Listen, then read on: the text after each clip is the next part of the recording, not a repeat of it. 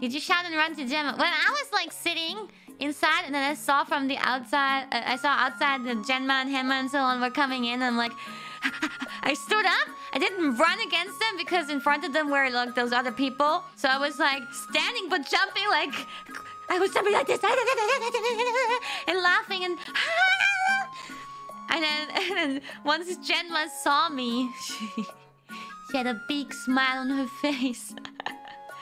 And then finally, when there was space, I ran at her. And she ran at me too this time. So cute. We gave each other a big hug. I was so happy. Yeah, the, the, other people, they just walked into the hotel so chill. It was late and dark, and everybody was just fairly quiet. And then there's just me and Jenma, like, bouncing and jumping and hugging and like, yeah, yeah, yeah, yeah. we have some, some special bond, okay? Cute indeed. Uh, yeah, they arrived really late. And then Jenma kind of started exploring her room. And, and she was looking for like hot water. She brought cup noodles and she wanted to eat dinner. Because like everything was closed outside. And then I I was like, Jenma, I still have leftover katsu. Jenma, I still have leftover katsu. You can have it. You can have it if you want. You can have it if you want. And for a while, she kept on turning it down. But eventually, she was so desperate for food. She said she was so hungry. Yeah, there was no kettle in the room. I'm like, we were like, what the fuck? I think there was like hot water somewhere like in the lobby. But I don't know, for some reason, she didn't end up using that. So, she said in the end that my leftover tonkatsu was a life savior.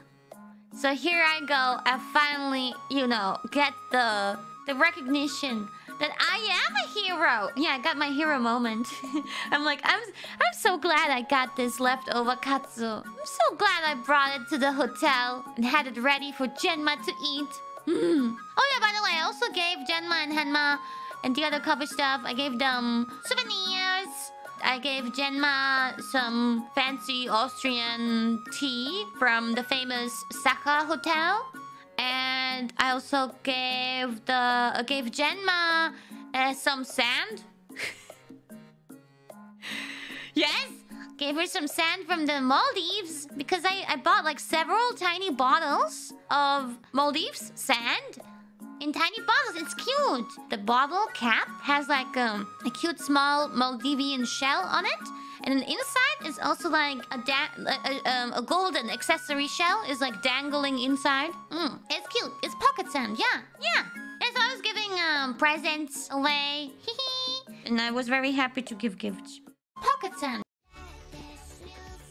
Okay, but this is just divine. Exquisite.